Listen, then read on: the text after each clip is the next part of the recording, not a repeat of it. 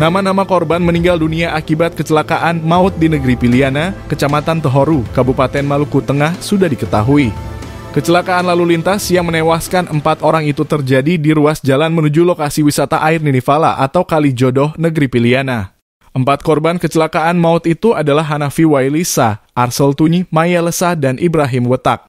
Keempatnya diketahui merupakan warga negeri Atiahu, Kecamatan Siwalalat, Kabupaten Seram bagian timur, Maluku. Selain korban tewas, kecelakaan maut itu juga membuat puluhan orang alami luka hingga mendapatkan perawatan di sejumlah puskesmas. Menurut Kapolres Maluku Tengah, Dax Emanuele, total ada 41 orang dalam dump truk yang terbalik di Gunung Negeri Piliana. Ia menuturkan dugaan sementara mobil mengalami remblong saat rombongan wisata hendak pulang dari kali jodoh Ninifala menuju tempat tinggal mereka di Atiahu. Setelah dari Ninifala hendak kembali menuju Atiahu.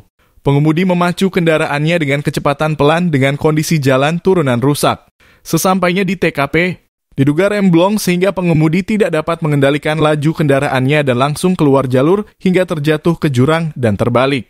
Jelasnya, akibat dari kejadian tersebut empat orang penumpang meninggal dunia, tiga luka berat, dan 34 orang penumpang mengalami luka-luka ringan.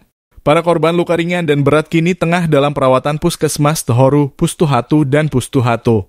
Kecelakaan tunggal mobil jump truck terabut terjadi pada Minggu 12 November 2023. Kecelakaan itu menyebabkan empat orang meninggal dunia dan puluhan lainnya luka-luka. Dilihat tribunambon.com dari gambar yang beredar, kondisi kendaraan pun alami kerusakan berat. Mobil terlihat remuk usai terguling di jurang. Bagian paling parah terlihat di kiri depan.